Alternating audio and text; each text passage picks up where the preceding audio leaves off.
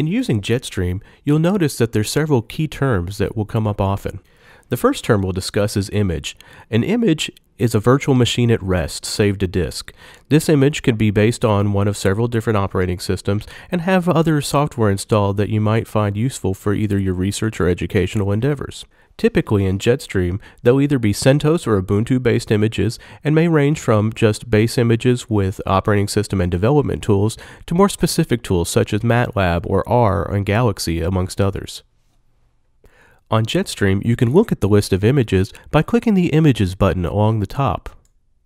This will show you the list of images that are available to you to run. The featured images that are listed first are developed and maintained by the Jetstream staff. Further down the list are the community contributed images. These are images created by other researchers and educators for use on Jetstream. These community contributed images may be useful to you through your education or research endeavors.